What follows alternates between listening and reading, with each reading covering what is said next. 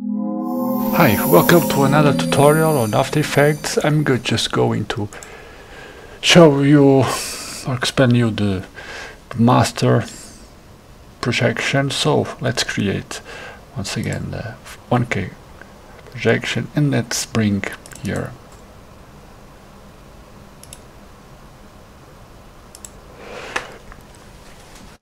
panoramic image already shown on, on other tutorials of an observatory. Okay, so I use I use this image to explain it better. So bring it to composition and, and apply the plugin. Okay, and that's it. So this image is um, a panoramic or cylindrical image.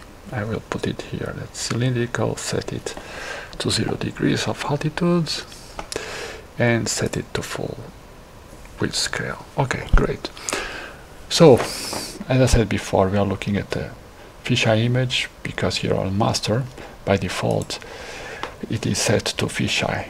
Okay, but we obviously could set it to other and so if you go here set it to Aitoff here is the same image set it to Aitoff projection or Hammer Aitoff difference is not great. Uh, gnomonic I will come with later. Stereographic image or orthographic. Or if you want um, cylindrical so basically is the input image.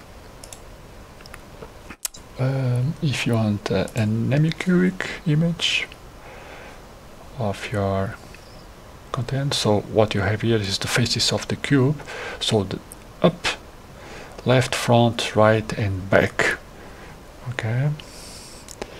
And um, the toast one you want the neck is solid. Eh, Mollweide yeah, so there are plenty of options here. And um, of course we are not seeing the entire world. We just have a spherical angle of 180 degrees and if you go here and set spherical angle 360 you now see the entire the entire world if I can say so. And um, in cube you now see all the faces of the cube okay clearly. And I am right off you have to okay the entire 360 degrees around you. So depending on your uh, the idea of your output you, you select a different a different output projection. Obviously the um, the usual one is for planetariums and fisheye for VR is, is cylindrical equidistant. So I'm using here um, panoramic image or uh, just to illustrate the the idea. But of course um, an image can be can be used and you just set the master to the appropriated uh, projection. On for the planetarium the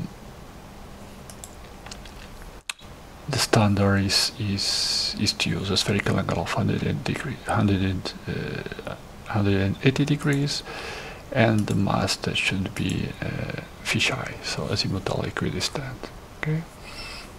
So and that's it for now. Thank you for watching